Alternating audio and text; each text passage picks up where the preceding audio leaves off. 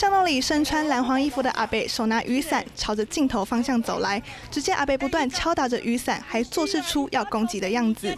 而长镜的女子正是资深艺人何子华。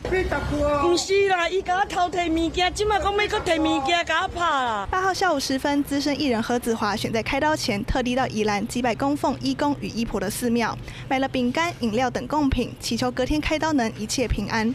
没想到祭拜到一半，转头一看，买来的贡品竟然被陌生阿北拿个精光。在旁边那边等，啊，转个身怎么我的东西不见了？结果就看到那个是阿贝啊，把我的东西都拿走。我还亲口问他说：“你有没有拿我的东西？”看到里面有人坏东西。他就出来拿啊！之前都也有这样子的例子吗？有，也有人跟他吵过了。附近民众表示，偷拿贡品的阿北是附近的居民，心切早就不是第一次。我不好啊！我看到我啊！啊，去了我我唔是好你，啊你唔是喊你，啊喊你，那就都都有喊你啊！偷拿被当场抓包，阿北恼羞成怒。民俗专家说，偷拿神明贡品，小心遭到惩罚，运势受到影响。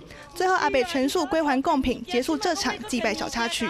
三立新闻黄国瑞、蔡佑贤、宜兰采访报道。